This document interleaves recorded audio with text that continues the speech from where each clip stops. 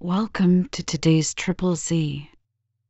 The Triple Z podcast is a daily program that you can use to help you fall asleep each night. Just turn down the volume, lay back, relax, and enjoy as you fall asleep.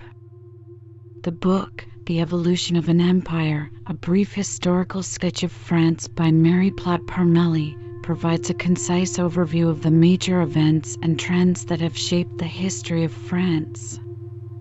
The book begins by exploring the ancient Celtic tribes and their conquest by Julius Caesar during the Roman Empire's expansion. The book then delves into the Germanic invasion of France in the 5th century CE, which led to the establishment of the Merovingian dynasty. The book also covers the rise of the Carolingian dynasty, which marked a period of significant cultural and economic development in France. The book discusses the impact of the Crusades and the Hundred Years' War on France's political and social landscape, as well as the Renaissance and Enlightenment periods, which brought significant cultural and intellectual advancements to the country. Additionally, the book explores the French Revolution and its aftermath, including Napoleon Bonaparte's rise to power and the subsequent restoration of the monarchy. The book concludes with a discussion of the Industrial Revolution and France's role in World War I. If you enjoy our program, please be sure to write us a review on your podcast platform and share us with a friend you both might sleep just a little better at night. Our website is triple Z, that's 3z's.media. You can also like and share our content on Facebook or our Instagram account ZZZ Media Podcast. Music for today's episode was provided by the Sleep Channel on Spotify. Chapter 1 one of the greatest achievements of modern research is the discovery of a key by which we may determine the kinship of nations. What we used to conjecture, we now know. An identity in the structural form of language establishes with scientific certitude that, however diverse their character and civilizations Russian, German, English, French, Spaniard are all but branches from the same parent stem, are all alike children of the Asiatic Aryan. So skillful are modern methods of questioning the past, and so determined the effort to find out its secrets, we may yet know the origin and history of this wonderful Asiatic people, and when and why they left their native continent and colonized upon the northern shores of the Mediterranean. Certain it is, however, that, more centuries before the Christian era than there have been since, they had peopled Western Europe. This branch of the Aryan family is known as the Celtic and was older brother to the Teuton and Slav, which at a much later period followed them from the ancestral home and appropriated the middle and eastern portions of the European continent. The name of Gaul was given to the territory lying between the ocean and the Mediterranean and the Pyrenees and the Alps. And at a later period, a portion of northern Gaul and the islands lying north of it received from an invading chieftain and his tribe the name Brit or Britain or Pryd or Prydain. If the mind could be carried back on the track of time and we could see what we now call France as it existed 20 centuries before the Christian era, we should behold the same natural features, the same mountains rearing their heads, the same rivers flowing to the sea, the same plains stretching out in the sunlight. But instead of vines and flowers and cultivated fields, we should behold great herds of wild ox and elk, and of swine as fierce as wolves, ranging in a climate as cold as Norway, and vast inaccessible forests, the home of beasts of prey which contended with men for food and shelter. Let us read Guizot's description of life in Gaul five centuries before Christ. Here lived six or seven millions of men a bestial life, in dwellings dark and low, built of wood and clay and covered with branches or straw, open to daylight by the door alone and confusedly heaped together behind a rampart of timber, earth, and stone, which enclosed and protected what they were pleased to call a town. Such was the Paris, and such the Frenchmen of the age of Pericles. And the same tides that washed the sands of southern Gaul a few hours later ebbed and flowed upon the shores of Greece rich in culture, with refinements and subtleties in art which are the despair of the world today with an intellectual endowment never since attained by any people. The same sun which rose upon temples and palaces and life serene and beautiful in Greece, an hour later lighted sacrificial altars and hideous orgies in the forests of Gaul.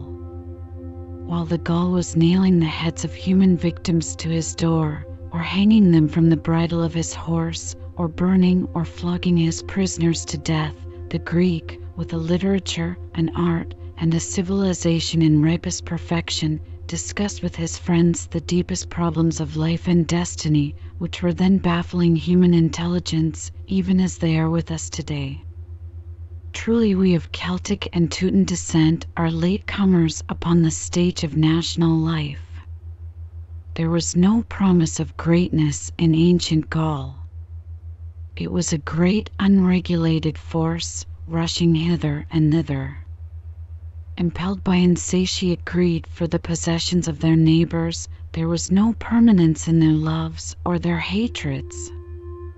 The enemies of today were the allies of tomorrow guided entirely by the fleeting desires and passions of the moment, with no far reaching plans to restrain, the sixty or more tribes composing the Gallic people were in perpetual state of feud and anarchy, apparently insensible to the ties of brotherhood, which give concert of action and stability in form of national life. If they overran a neighboring country, it seemed not so much for permanent acquisition as to make it a camping ground until its resources were exhausted. We read of one Massilia who came with a colony of Greeks long ages ago, and after founding the city of Marseilles, created a narrow bright border of Greek civilization along the southern edge of the benighted land. It was a brief illumination, lasting only a century or more, and leaving few traces, but it may account for the superior intellectual quality of the southern provinces in future France. It requires a vast extent of territory to sustain a people living by the chase and upon herds and flocks, hence the area which now amply maintains 35 millions of Frenchmen was all too small for 6 or 7 million Gauls, and they were in perpetual struggle with their neighbors for land more land. Give us land, they said to the Romans, and when land was denied them and the gates of cities disdainfully closed upon their messengers, not land, but vengeance, was their cry, and hordes of half naked barbarians trampled down the vineyards and rushed, a tumultuous torrent, upon Rome. The Romans could not stand before this new and strange kind of warfare. The Gauls streamed over the vanquished legions into the Eternal City, silent and deserted save only by the Senate and a few who remained entrenched in the citadel, and there the barbarians kept them besieged for seven months, while they made themselves at home amid uncomprehended luxuries. Of course, Roman skill and courage at last dislodged and drove them back. But the fact remained that the Gaul had been there, master of Rome, that the ironclad legions had been no match for his naked force, and a new sensation thrilled through the length and breadth of Gaul. It was the first throb of national life. The 60 or more fragments drew closer together into something like Gallic unity with a common danger to meet, a common foe to drive back.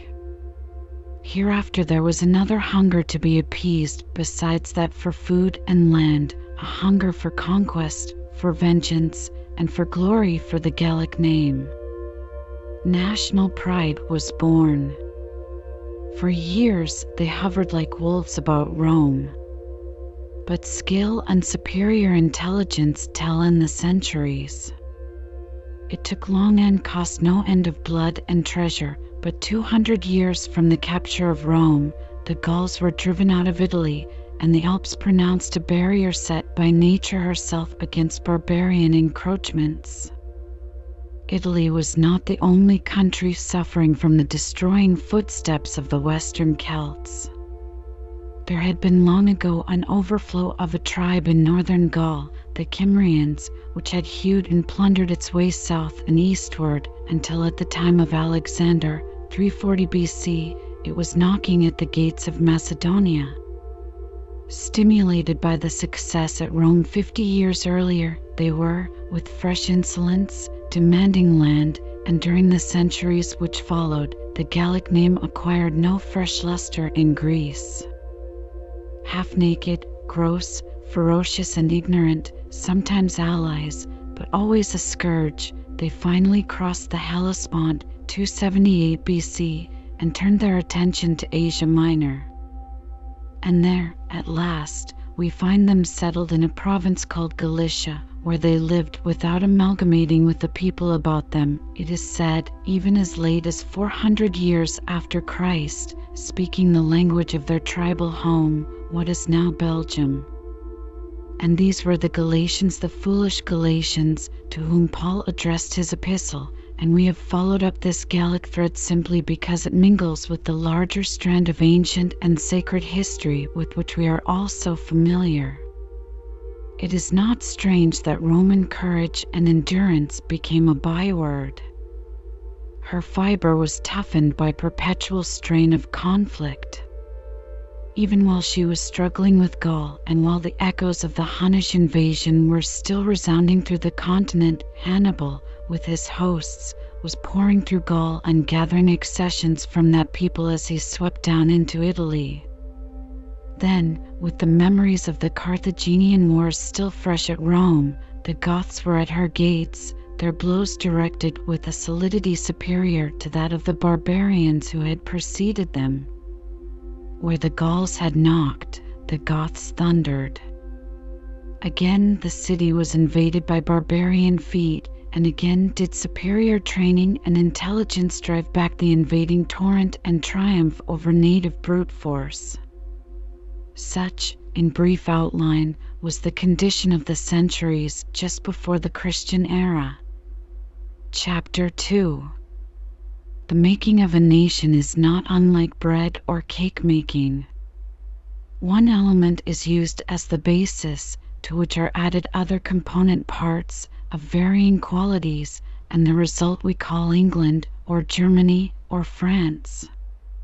The steps by which it is accomplished, the blending and fusing of the elements, require centuries, and the process makes what we call history. It was written in the book of fate that Gaul should become a great nation, but not until fused and interpenetrated with two other nationalities. She must first be humanized and civilized by the Roman, and then energized and made free from the Roman by the Teuton. The instrument chosen for the former was Julius Caesar, and for the latter five centuries later Clovis, the Frankish leader. It is safe to affirm that no man has ever so changed the course of human events as did Julius Caesar. Napoleon, who strove to imitate him 1800 years later, was a charlatan in comparison, a mere scene shifter on a great theatrical stage. Not a trace of his work remains upon humanity today. Caesar opened up a pathway for the old civilizations of the world to flow into Western Europe, and the sodden mass of barbarism was infused with a life compelling current. This was not accomplished by placing before the inferior race a higher ideal of life for imitation, but by a mingling of the blood of the nations, a transfusion into Gallic veins of the germs of a higher living and thinking, thus making them heirs to the great civilizations of antiquity. No human event was ever fraught with such consequences to the human race as the conquest of Gaul by Julius Caesar. The Gallic Wars had for centuries drained the treasure and taxed the resources of Rome. Caesar conceived the audacious idea of stopping them at their source, in fact, of making Gaul a Roman province. It was a marvelous exhibition, not simply of force, but of force wielded by supreme intelligence and craft. He had lived for years among this people and knew their sources of weakness, their internal jealousies and rivalries, their incohesiveness. When they hurled themselves against Rome, it was as a mass of sharp fragments. When the Goths did the same, it was as one solid, indivisible body. Caesar saw that by adroit management he could disintegrate this people even while conquering them. By forcibly maintaining in power those who submitted to him, being by turns gentle and severe, ingratiating here, terrifying there, he established a tremendous personal force and during nine years carried on eight campaigns, marvels in the art of war, as well as in the subtler methods of negotiation and intrigue. He had successively dealt with all the Gallic tribes, even including Great Britain, subjugating either through their own rivalries or by his invincible arm. Equally able to charm and to terrify, he had all the gifts, all the means to success and empire that can be possessed by man. Great in politics as in war, as full of resource in the forum as on the battlefield, he was by nature called to dominion. It was not as a patriot, simply intent upon freeing Rome of an harassing enemy, that he endured those nine years in Gaul, not as a great leader burning with military ardor that he conducted those eight campaigns. The conquest of Gaul meant the greater conquest of Rome. The one was accomplished, he now turned his back upon the devastated country and prepared to complete his great project of human ascendancy.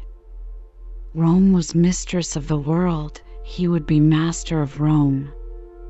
Chapter 3 While the star of empire was thus moving toward the west, another and brighter star was about to arise in the east.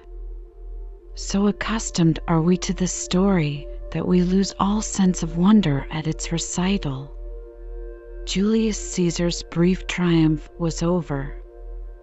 Mark Antony had recited his virtues over his bier, Rome had wept, and then forgotten him in the absorbing splendors of his nephew Augustus. In an obscure village of an obscure country in Asia Minor, the young wife of a peasant finds shelter in a stable and gives birth to a son who is cradled in the straw of a manger from which the cattle are feeding. Can the mind conceive of human circumstances more lowly? The child grew to manhood, and in his thirty three years of life was never lifted above the obscure sphere into which he was born, never spoke from the vantage ground of worldly elevation, simply moving among people of his own station in life, mechanics, fishermen, and peasants, he told of a religion of love, a gospel of peace, for which he was willing to die. Who would have dreamed that this was the germ of the most potent, the most regenerative force the world had ever known? That thrones, empires, principalities, and powers would melt and crumble before his name? Of all miracles, is not this the greatest? The passionate ardor with which this religion was propagated in the first two centuries had no motive but the yearning to make others share in its benefits and hopes, and to this end to accept the belief that Jesus Christ had come in fulfillment of a long promised Savior who should be sent to this world clothed with divine authority to establish a spiritual kingdom in which he was King of kings, Lord of lords, mediator between us and the Father of whom he was the only begotten Son.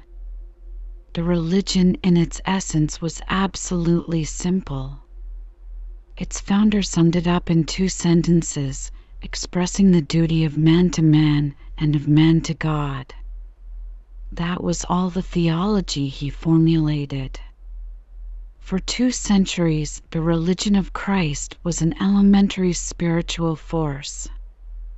It appealed only to the highest attributes and longings of the human soul, and under its sustaining influence frail women, men, and even children were able to endure tortures of which we cannot read even now without shuddering horror. Nature's method of gardening is very beautiful. She carefully guards the seed until it is ripe, then she bursts the imprisoning walls and gives it to the winds to distribute. Precisely such method was used in disseminating Christianity. It was not for one people, it was for the healing of the nations, and its home was wherever man abides. Nearly five decades after Christ's death upon the cross, Jerusalem was destroyed by Titus. The home of Christianity was effaced. At just the right moment, the enclosing walls had broken and freed to the winds the germs in all their primitive purity. Imperial favor had not tarnished it, human ambitions had not employed and degraded it, nor had it been made into complex system by ingenious casuists. The pure spiritual truth, unsullied as it came from the hand of its founder, was scattered broadcast as the band of Christians dispersed throughout the Roman Empire, naturally forming into communities here and there, which became the centers of Christian propagandism. Lyons in Gaul was such a center. The fires of persecution had been lighted here and there throughout the empire, and the Emperor Nero, under whom the apostles Peter and Paul are said to have suffered martyrdom, had amused himself by making torches of the Christians at Rome. But until 177 AD, Gaul was exempt from such horrors. Marcus Aurelius, that peerless pagan, large in intelligence, exalted in character, and guided by a conscientious rectitude which has made his name shine like a star in the lurid light of Roman history, still failed utterly to comprehend the significance of this spiritual kingdom established by Christ on earth. He it was who ordered the first persecution in Gaul. In pursuance of his command, horrible tortures were inflicted at Lyons upon those who would not abjure the new faith. A letter, written by an eyewitness, pictures with terrible vividness the scenes which followed. Many cases are described with harrowing detail, and of one Blandina it is said, From morn till eve they put her to all manner of torture, marveling that she still lived with her body pierced through and through and torn piecemeal by so many tortures of which a single one should have sufficed to kill her, to which she only replied, I am a Christian. The recital goes on to tell how she was then cast into a dungeon, her feet compressed and dragged out to the utmost tension of the muscles, then left alone in darkness until new methods of torture could be devised. Finally, she was brought, with other Christians into the amphitheater, hanging from a cross to which she was tied, and there thrown to the beasts. As the beasts refused to touch her, she was taken back to the dungeon to be reserved for another occasion, being brought out daily to witness the fate and suffering of her friends and fellow martyrs, still answering the oft repeated question I am a Christian. The writer goes on to say, after she had undergone fire, the talons of beasts, and every agony which could be thought of, she was wrapped in a network and thrown to a bull, who tossed her in the air, and her sufferings were ended. Truly, it cost something to say, I am a Christian in those days. Marcus Aurelius probably gave orders for the persecution at Lyons, with little knowledge of what would be the nature of those persecutions or of the religion he was trying to exterminate. Some of the hours spent in writing introspective essays would have been well employed in studying the period in which he lived and the empire he ruled. Paganism and Druidism, those twin monsters, receded before the advancing light of Christianity. Neither contained anything which could nourish the soul of man, and both had become simply badges of nationality. Druidism was the last stronghold of independent Gallic life. It was a mixture of northern myth and oriental dreams of metempsychosis, coarse, mystical, and cruel. The Roman paganism, which was superimposed by the conquering race, was the mere shell of a once vital religion. Educated men had long ceased to believe in the gods and divinities of Greece, and it is said that the Roman augurs, while giving their solemn prophetic utterances, could not look at each other without laughing. In the year 312, alas for Christianity, it was espoused by imperial power.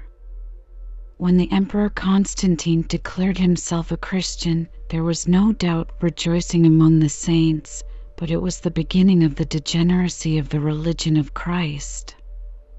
The faith of the humble was to be raised to a throne, its lowly garb to be exchanged for purple and scarlet, the gospel of peace to be enforced by the sword. The empire was crumbling, and upon its ruins the race of the future and social conditions of modern times were forming. Paganism and Druidism would have been an impossibility. Christianity, even with its luster dimmed, its purity tarnished, its simplicity overlaid with scholasticism, was better than these. The miracle had been accomplished. The great Roman Empire had said, I am Christian. Chapter 4 Gaul had been Latinized and Christianized. Now one more thing was needed to prepare her for a great future. Her fiber was to be toughened by the infusion of a stronger race. Julius Caesar had shaken her into submission and Rome had chastised her into decency of behavior and speech, but as her manners improved her native vigor declined. She took kindly to Roman luxury and effeminacy, and could no longer have thundered at the gates of her neighbors demanding land. But at last the great Roman Empire was dying, and even degenerate Gaul was struggling out of her relaxing grasp. In her extremity she called upon the Franks, a powerful Germanic race, to aid her. This people had long looked with covetous eyes at the fair fields stretching beyond the Rhine, and lost no time in accepting the invitation. They overspread the land, and Gaul and Roman alike were submerged beneath the Teuton flood, while the Frankish conqueror, Clovis, son of the great Marivaux, was at Paris or Lutetia, wearing the kingly crown. Such was the beginning of independent and of dynastic life in France.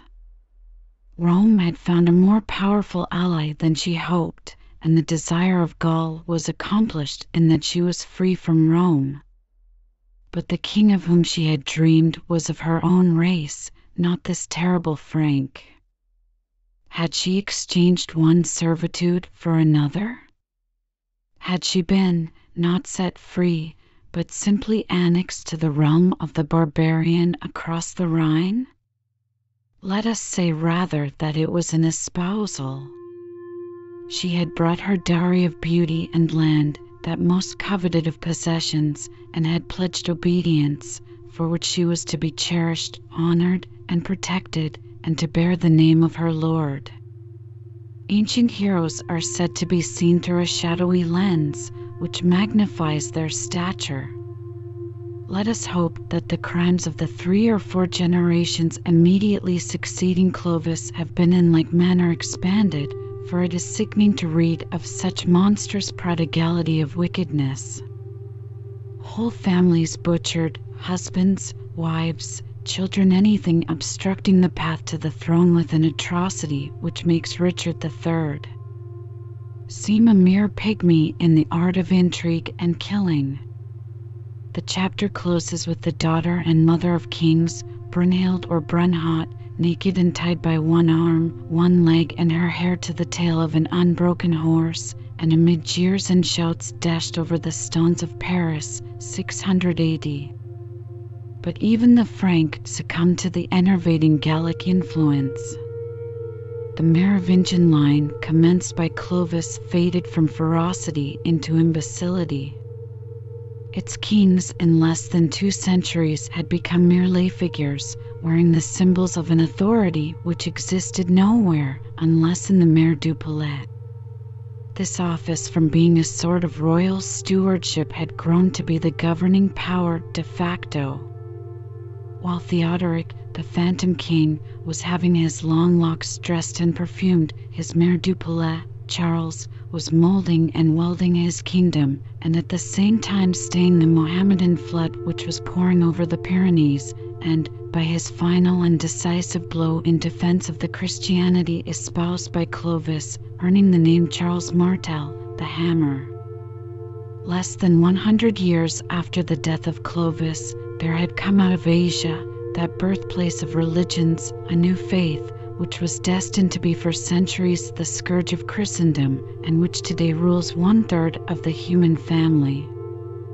Zoroaster, Buddha, Christ had successively come with saving message to humanity, and now, 600 AD, Muhammad believed himself divinely appointed to drive out of Arabia the idolatry of ancient Magianism, the religion of Zoroaster. Christianity had passed through strange vicissitudes.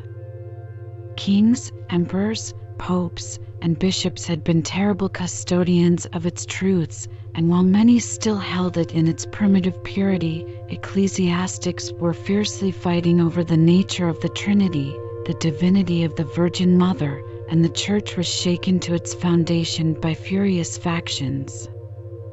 In this hour of weakness, the Persians, 590 AD, had conquered Asia Minor. Bethlehem, Gethsemane, and Calvary were profaned, the Holy Sepulchre had been burned, and the cross carried off amid shouts of laughter. Magianism had insulted Christianity, and no miracle had interposed. The heavens did not roll asunder, nor did the earth open her abysses to swallow them up there was consternation and doubt in Christendom. Such was the state of the Church when Mohammedanism came into existence. There is but one God, and Muhammad is his prophet. Such was its battle cry and its creed, and the moral precepts of the Quran its gospel. There seems nothing in this to account for the mad enthusiasm and the passion for worship in its followers. But in less than a hundred years, this lion out of Arabia had subjected Syria, Mesopotamia, Egypt, northern Africa, and the Spanish peninsula.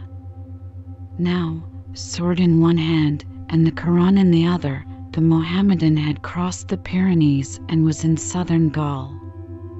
Under the strange magic of this faith, the largest religious empire the world had known had sprung into existence, stretching from the Chinese Wall to the Atlantic, from the Caspian to the Indian Ocean, and Jerusalem, the metropolis of Christianity, Jerusalem, the Mecca of the Christian, was lost. The crescent floated over the birthplace of our Lord, and notwithstanding the temporary successes of the Crusades, it does to this day. If the Pyrenees were passed, the very existence of Christendom was threatened.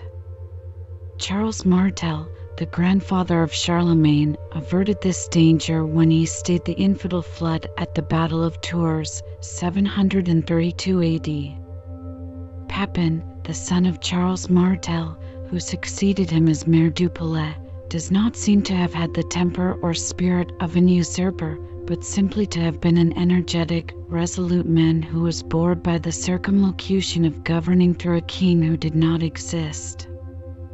He determined to put an end to the fiction and to cut the Gordian knot by first cutting the long curls of the last Merovingian, Childeric, and then putting the crown upon his own head, he sent the unfortunate phantom of royalty to a monastery to reflect upon the uncertainty of human pleasures and events. By right of manhood and superiority, the Carlovingian line had succeeded to the Merovingian. Against the dark background of European history, and with the broad level of obscurity stretching over the ages at its feet, there rises one shining pinnacle. Considered as man or sovereign, Charlemagne is one of the most impressive figures in history. His seven feet of stature clad in shining steel, his masterful grasp of the forces of his time, his splendid intelligence, instinct even then with the modern spirit, all combined to elevate him in solitary grandeur. Charlemagne found France in disorder measureless and apparently insurmountable. Barbarian invasion without and anarchy within, Saxon paganism pressing in upon the north, and Asiatic Islamism upon the south and west, a host of forces struggling for dominion in a nation brutish, ignorant, and without cohesion. It is the attribute of genius to discern opportunity where others see nothing. Charlemagne saw rising out of this chaos a great resuscitated Roman Empire, which should be at the same time a spiritual and Christian empire as well. Saxons, Slavs, Huns, Lombards, Arabs came under his compelling grasp, these antagonistic races all held together by the force of one terrible will, in unnatural combination with France. No political liberties, no popular assemblies discussing public measures. It is Charlemagne alone who fills the picture. It is absolutism, marked by prudence, ability, and grandeur, but still absolutism.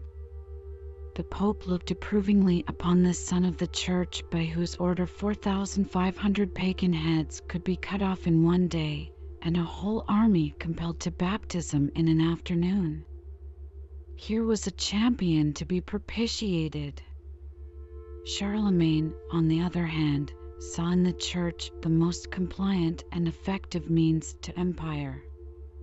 In the loving alliance formed, he was to be the protector, the Pope the protected. He wore the Church as a precious jewel in his crown.